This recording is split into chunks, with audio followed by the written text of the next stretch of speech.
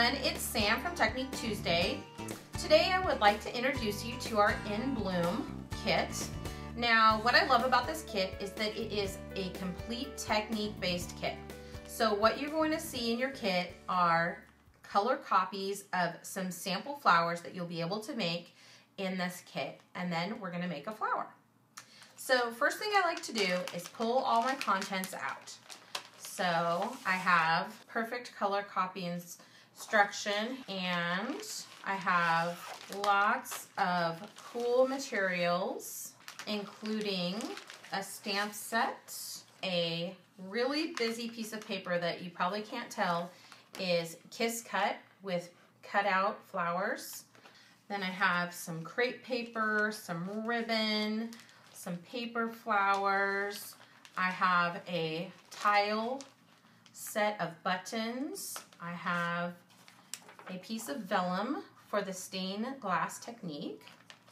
I also have the Petite Posy stamp, which this is such a fun stamp set. It's very versatile and easy to work on cards for other projects. And of course, my favorite would probably be the two different sized polka dot stamps. This particular kit has these cards that you take the contents of your kit and you actually make each flower and adhere them to the cards. So what it ends up looking like is a ringed miniature idea book. And it is so helpful when you are in creative mode and referring to, you know, something you just tried in your kit and it's gonna look great on a card or a layout and you have a reference.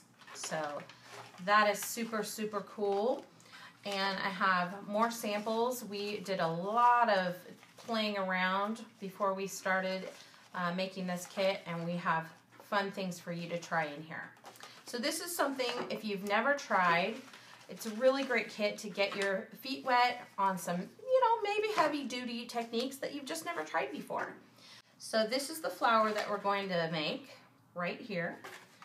And all you need to get out is your, your felt, your pink felt, and I just chose a felt pen so what I'm to do, I've actually read my instructions and it told me to take my pen and create a square spiral. So I'm just going to take my pen and draw my spiral. Then I'm to get my scissors out.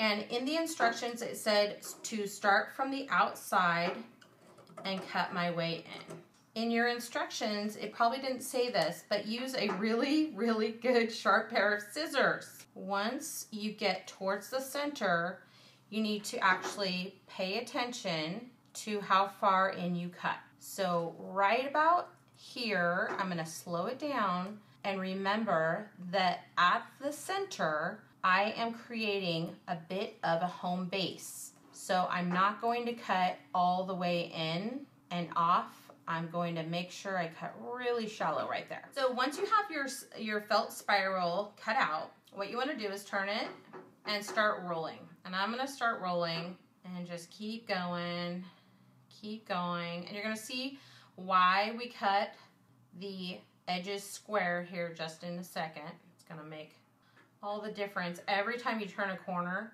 it just makes more sense. And you wrap that around and because it's felt, it is a little awkward in your hand. But since we're trying a new technique, that's okay. It might take you a couple times. Then when you get to the base, you'll see that because we left this sort of large with the half inch around, I'm gonna take a little bit of glue and I suggest you use a zip dry or something like it, something that's going to adhere the fabric together. So this is my landing pad. I'm going to just put my flower on. How would you use this flower? Let me show you.